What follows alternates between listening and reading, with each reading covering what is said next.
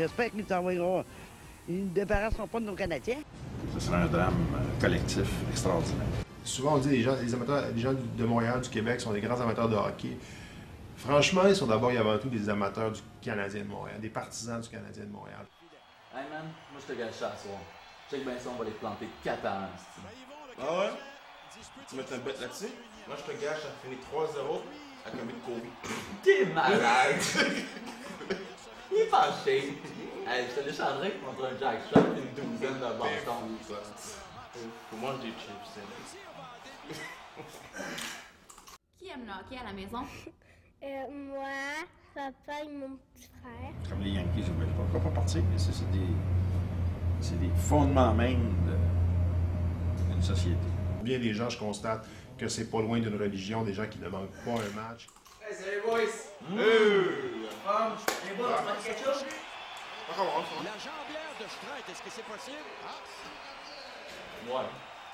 Let's go les boys! L'autre game set?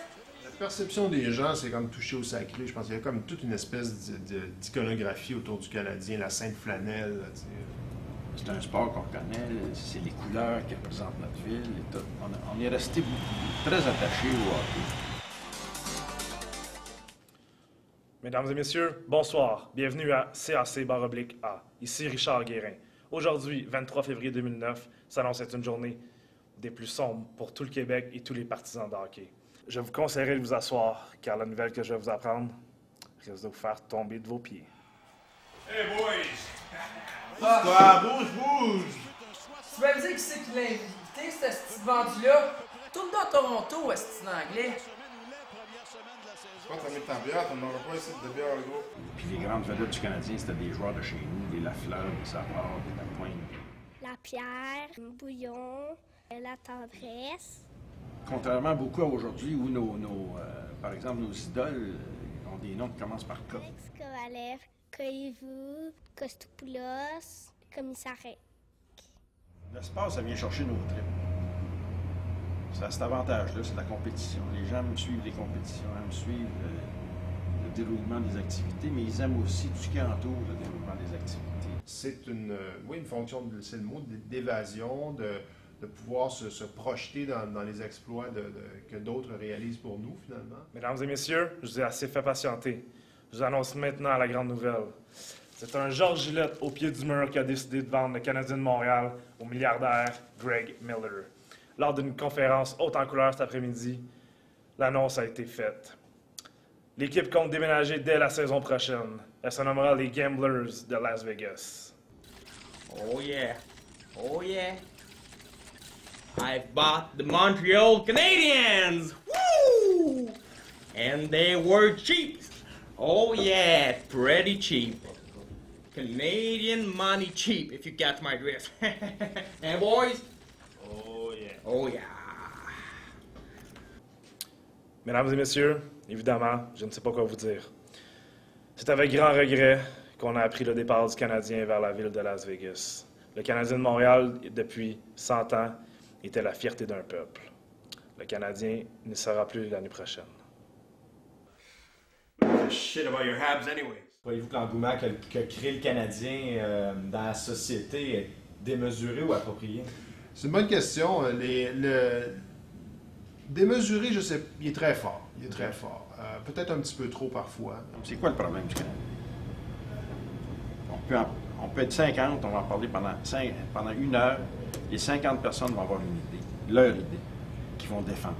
Dans quel autre sujet dans la vie est-ce que tu es capable de réunir 50 personnes, 10 personnes, 5 personnes, de dire on va parler pendant une heure de ce sujet-là, puis on va apporter des arguments intelligents, puis on va les défendre? C'est juste le hockey que tu peux faire ça. Il n'y a aucun autre sujet. Tu as beau parler d'économie, de politique, euh, de science, de- les gens ont passé de background, ont passé de contenu, ont passé de connaissances. Je crois que c'est dur. On devient complètement fou, là. Qu'est-ce que t'as dit, toi, l'anglais?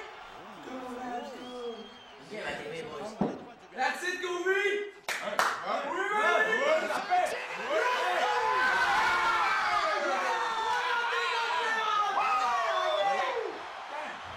Quand tu parles de hockey, tu es capable de montrer à l'autre comment tu pas d'autre il n'y a pas d'autre domaine où tu peux faire ça.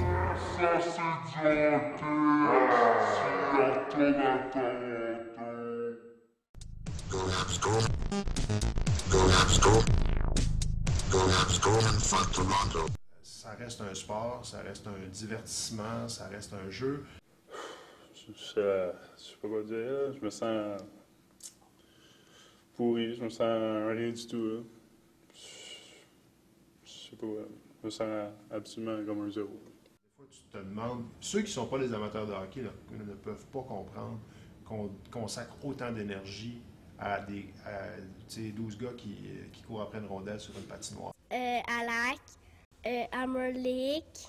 Donc, dès que la saison se termine, vous prévoyez être chauffeur de Zombie, c'est bien ça? Ouais, j'ai déjà amené des CV et tout. Je pense que je vais avoir de problème. Puis, euh, je pense que je vais faire ça. Tout le monde y perdrait.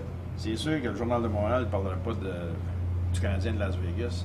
Et, euh, si le Canadien, qui dans le fond occupe euh, une part très importante de notre couverture, disparaissait, je pense que la- le réflexe des patrons serait peut-être de dire bon, mais on va diminuer davantage l'espace qu'on consacre au J'ai sport. au Journal de Montréal mais pendant des années, puis c'était 50 du, c'était 50 du produit. Le, sport, mais à l'intérieur du sport, c'était 50 sur le Canadien. Notre chiffre d'affaires a diminué, je dirais, d'environ 30% si ce n'est pas 40 à certains moments, puisque le Canadien euh, jouait quand même une à deux parties de hockey par semaine, ce qui nous apportait une clientèle euh, relativement stable. Depuis la vente, le déménagement des Canadiens à Las Vegas, euh, il y a eu une augmentation phénoménale de la vente d'antidépresseurs. Ouais, J'ai des doutes. Souvent, je suis stressé un peu. Là. C'est devenu un symbole partout au Québec. There's no other Canadian hockey team. C'est tout un problème. C'est très, très triste. C'est sûr que quand tu regardes ça de façon objective, c'est démesuré. C'est comme qu'ils disent aux nouvelles, c'est quasiment rendu une religion. Hein. On, on court à notre perte un petit peu. Pas notre sevrage là, en deux, trois jours des Canadiens, c'est certain. It would be like the economic crisis. It would snowball everywhere. Souvent, je suis stressé un peu. On ne pourra pas survivre? Nous avons pour vous des images chocs et exclusives d'une émeute qui vient tout juste de commencer à la suite de l'annonce du déménagement de la Sainte-Flanelle. Mélissa Bélanger est sur les lieux pour commenter la situation. L'émeute a commencé il y a environ 30 minutes de ça en face du centre. Nous sommes ici à l'abri des émeutiers. Qui n'était supposé être qu'une manifestation s'est transformé en une catastrophe spectaculaire. Have to see some of this. Cars are on fire. There are people running for their lives, and this is all because the Montreal Canadiens are no longer here. They've moved, they've relocated to Las Vegas, and they're no longer going to be our beloved Montreal Canadiens. Because of this, riots have begun everywhere across the city. We have cars and police cars on fire, and people have actually decided to take part in some of this now.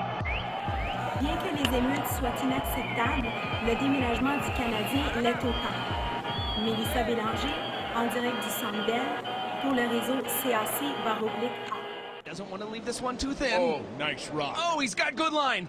Down the sheet it comes. Good line. This one's got a chance. He really gave it back of the house. Wait. He's got it. Past the hog line. Oh, Les plates. M'ennuie des Habs.